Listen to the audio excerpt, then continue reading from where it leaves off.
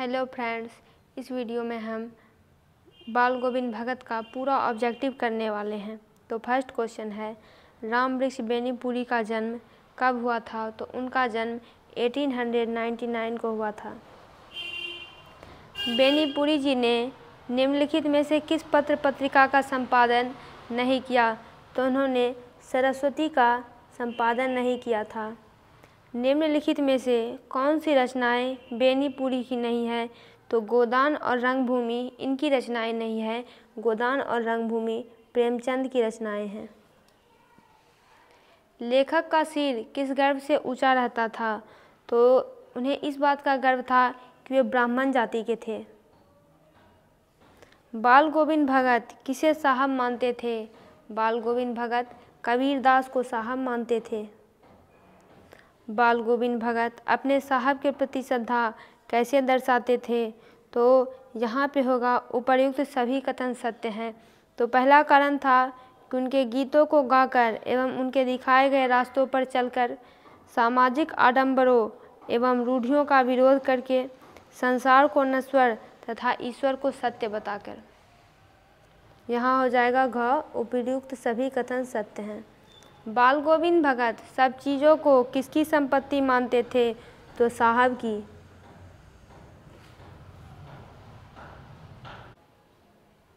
बाल गोविंद भगत की आजीविका का क्या साधन था? यानी वो अपना जीवन यापन किस चीज़ से करते थे? तो कृषि से। उनकी खेती बाड़ी भी थी, यानी बाल गोविंद भगत किसान थे। भगत जी के गीतों की क्या विशेषता थी? तो उनके विशेषता थी कि भगत जी के गीतों में ईश्वर के प्रति आस्था तथा प्रेम था। भगत जी भगवान के प्रति भजन गाया करते थे। गीतों के बोल भगत जी की जीवा का स्पर्श पाकर जीवंत तो हो उठते थे। उनके गीतों में अज्ञानी तथा भटके हुए लोगों को राह पर लाने की टेर होती थी तो आंसर हो जाएगा घ, यानी सभी कथन सत्य हैं। भगत जी का कौन सा गीत लोगों को चौंकाता है? तो उनका ये गीत कि गोदी में पियावा चमक उठे सकिया लोगों को चौंकाता है। लेखक ने भगत जी के गायन का चरमोत्कर्ष कब देखा? तो उस दिन देखा जब बाल गोविंद भगत के पुत्र की मृत्यु हो गई। भगत अपने पुत्र का अधिक ध्यान क्यों रखते थे? क्योंकि वह मानसिक रूप से कमज़ोर था, उसे देखभाल की ज़्यादा ज़रूरत थी। भगत जी ने अपने पुत्र की मृत्यु पर पुत्र वधु से रोने के स्थान पर उत्सव मनाने के लिए क्यों कहा? तो कारण ये था कि भगत जी का मानना था कि आत्मा और परमात्मा का मेल हो गया था। आत्मा परमात्मा का मेल खुशी की बात है, दुख की नहीं, विरहनी को उसका प्रिय मिल गया। तो यहाँ पे हो जाएगा आंसर घर यानी सभी कथन सत्य हैं।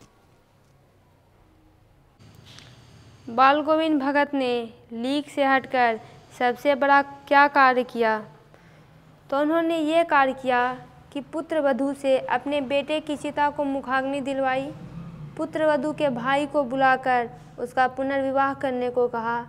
आंसर हो जाएगा क और ख, दोनों कथन सत्य हैं। भगत जी द्वारा अपनी पुत्र वधु से बेटे की चिता को मुखाग्नि दिलवाना क्या सिद्ध करता है? यह सिद्ध करता है कि वो रूढ़ियों को तोड़ना चाहते थे। स्त्री पुरुष की समानता पर बल देते थे, यानी स्त्री पुरुष दोनों समान हैं, दोनों में किसी प्रकार का भेदभाव नहीं है। वे कबीर के आदर्शों के सच्चे वाहक थे, यानी वे कबीर के आदर्शों को पूरा पूरा मानते थे। तो यहाँ पे हो जाएगा, सभी कथन सत्य हैं। भगत जी प्रतिवर्ष गंगा स्नान के लिए क्यों जाते थे? बाल गोविंद भगत हर साल गंगा स्नान के लिए जाते थे। किस लिए? तो संत समागम के लिए। जीवन की अंतिम सांस में लेखक को भगत का गीत कैसा लगा? ऐसा लगा जैसे वीणा का तार टूट गया हो। बाल गोविंद भगत, किस कारण से साधु कहलाते थे? तो ये था आचरणगत शुद्धता के कारण उनके आचरण में, आचार विचार में शुद्धता थी। सच्चा साधक होने के कारण निर्मोही यानी उन्हें किसी से मोह नहीं था, किसी भी प्रकार का मोह नहीं था और संयमी थे। ये सब कारण थे कि वो साधु थे। कबीर में बाल गोविंद भगत की श्रद्धा का कारण था।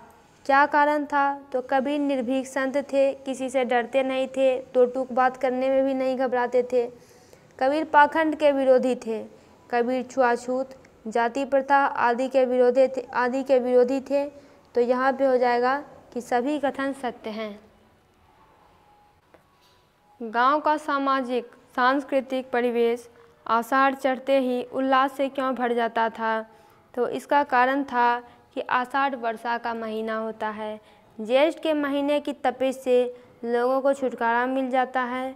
लोग धान की रुपाई शुरू कर देते हैं तो आंसर हो जाएगा कि उपर्युक्त सभी कथन सत्य हैं।